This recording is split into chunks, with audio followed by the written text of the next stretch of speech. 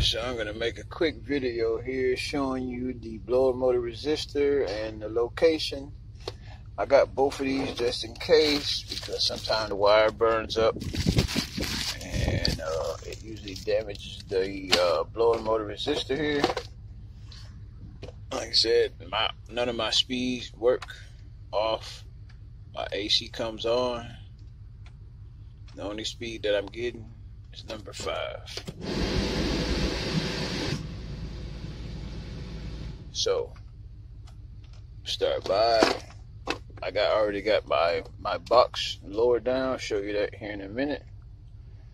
The location of the seven millimeter bolts and the bolts that actually mount the uh, blower motor resistor because this one looks like it's already got a aftermarket harness on it. So we'll get it down, show you where they usually burn at, and see if we got all the rest of our speeds here. So stay tuned. So we got two mounting seven millimeters that go through the bottom. One here and one here on the box. Let's picking it up.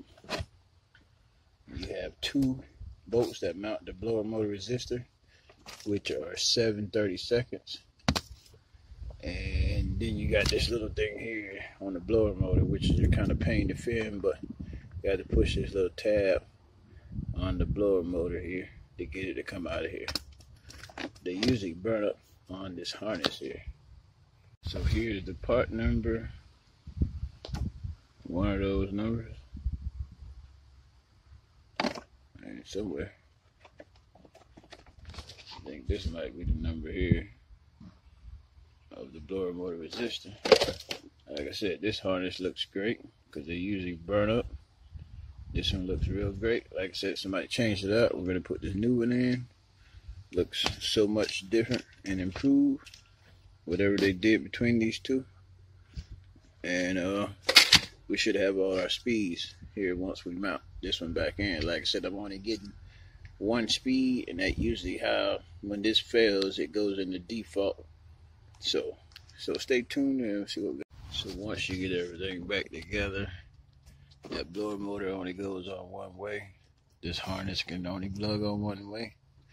And then when you reach around here on the blower motor, you'll see the plug. And uh, if you do this right, I don't know if you can hear that,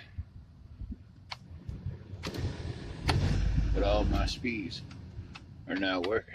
So like I said, use time when you get one speed by itself. I would check that harness, or if the harness is good, it's probably just a bad blower motor resistor. So, helps you out. Like, push that like button. Want to see more of my videos? Please subscribe and thank you.